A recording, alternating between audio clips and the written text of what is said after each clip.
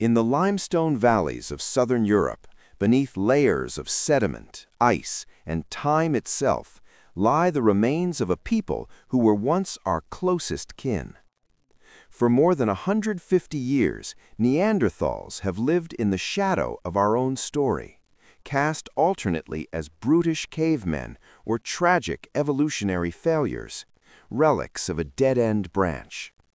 But today, their bones are no longer silent.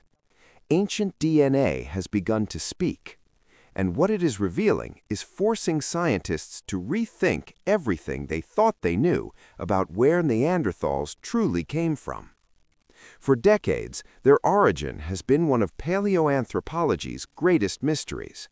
Neanderthal fossils stretch across an enormous range, from the caves of Spain and France to the plains of Central Asia and the mountains of Siberia, dating back hundreds of thousands of years.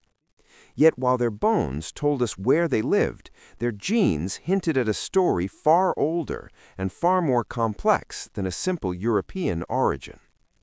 Now, an international team of geneticists and paleoanthropologists has pieced together one of the most comprehensive Neanderthal genetic studies ever attempted, analyzing ancient DNA from fossils found across Eurasia from Vindija Cave in Croatia to the remote Altai Mountains of southern Siberia, the team uncovered a hidden history written in their cells, a history shaped by climate upheaval, migration, and repeated encounters with other ancient humans. Neanderthals were not an isolated offshoot. Around 600,000 years ago, they diverged from a common ancestor shared with modern humans, likely Homo heidelbergensis, somewhere in Africa or Eurasia. But pinpointing where Neanderthals themselves first emerged has long remained elusive, until now. By examining both nuclear DNA and mitochondrial DNA, passed down through maternal lines, extracted from bones and teeth preserved in permafrost-like conditions, researchers compared Neanderthal genomes to hundreds of ancient and modern human sequences worldwide. What they found was unexpected. The earliest Neanderthals carried genetic traces of an even older population, one with roots far to the east, possibly in Central or East Asia, long before Neanderthals became a defining presence in Ice Age Europe. One of the most revealing discoveries came from the Altai Neanderthal, a female who lived more than 120,000 years ago. Her DNA showed clear evidence of interbreeding with another mysterious human group, the Denisovans. This was no isolated encounter it revealed that Neanderthal history was not a straight evolutionary line, but a braided river, full of branching paths, reconnections, and genetic exchanges stretching deep into prehistory. The data also revealed something equally profound. Not all Neanderthals were the same. Early Western Neanderthals, such as those from Spain's Sima de los Huesos site, dated to more than 430,000 years ago, carried genetic profiles distinct from their eastern counterparts. This suggests that Europe may have seen multiple waves of Neanderthal populations arriving, mixing, replacing, and sometimes coexisting over hundreds of thousands of years. So what drove these movements across continents? Climate appears to have been a powerful force. Ice Age Eurasia was a land in constant flux. Advancing glaciers pushed populations south into refuges. Warming interglacial periods pulled them north again into newly habitable landscapes. These cycles may have repeatedly brought distant populations into contact, Neanderthals, Denisovans, and even early relatives of modern humans, far earlier than previously believed. The genetic evidence revealed another surprise. Small but significant traces of DNA from an even more ancient hominin, possibly Homo erectus, were detected within Neanderthal genomes. This suggests deep ancestral roots in Asia before their expansion westward. In other words, Neanderthals may not have originated in a single place at all. Their birthplace may have been a vast, interconnected range spanning thousands of miles. Far from being slow-moving, isolated survivors, Neanderthals emerge instead as adaptable travelers, shaped by migration, innovation, and survival across some of the harshest environments humans have ever known. And one site, long debated by archaeologists, became a critical piece of this puzzle. Mezmaiskaya Cave, high in the Caucasus Mountains. Here, in a rugged corridor between Europe and Asia, researchers uncovered the remains of a Neanderthal child who lived more than 40,000 years ago. Her fragile bones carried genetic echoes unlike those of Western European Neanderthals.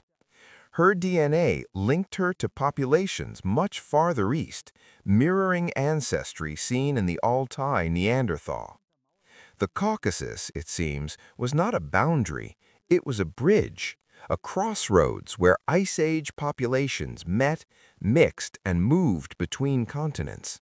The timeline revealed by these genomes is staggering. Between roughly 100,000 and 60,000 years ago, Neanderthal populations expanded and re-expanded across Eurasia multiple times. Each movement left subtle genetic signatures, like footnotes in a book humanity never knew existed. And with each movement came encounters, including encounters with us. This matters because the story of Neanderthals is inseparable from the story of modern humans. Every non-African person alive today carries, on average, 1 to 2% Neanderthal DNA, a genetic inheritance born from ancient interbreeding, some of it in the Middle East, others possibly much farther east as modern humans began leaving Africa around 60,000 years ago. But the new genetic evidence pushes some of these contacts far deeper into the past. Certain Neanderthal lineages appear to have received genes from early relatives of modern humans more than 200,000 years ago, long before our species' great migration. This was not a single meeting. It was a long, complicated relationship marked by separation, reconnection, and shared survival. So why did Neanderthals disappear around 40,000 years ago? DNA offers part of the answer. Toward the end of their existence, Neanderthal populations became small and fragmented. Inbreeding increased, genetic diversity declined. This left them more vulnerable to disease, environmental stress, and sudden change. At the same time, modern humans, with larger social networks, wider trade routes, and more flexible technologies, expanded rapidly into Neanderthal territories. Yet the genetic record makes one truth undeniable. Neanderthals did not simply vanish. They live on, woven into us. Their genes still influence how our immune systems respond to illness, how our bodies process fat, how our skin reacts to sunlight. In a very real sense, they never fully disappeared. As ancient DNA technology advances, researchers are now finding Neanderthal traces in places once thought impossible, within cave sediments without visible bones, on stone tools carrying microscopic residues, even in the hardened plaque of fossilized teeth. With every discovery, the picture grows clearer. The origin of Neanderthals is not a single point on a map. It is a network of journeys, exchanges, and adaptations spanning continents and hundreds of thousands of years. It is the story of a people shaped by ice and movement, by encounters with other humans, and by memories of places thousands of miles apart.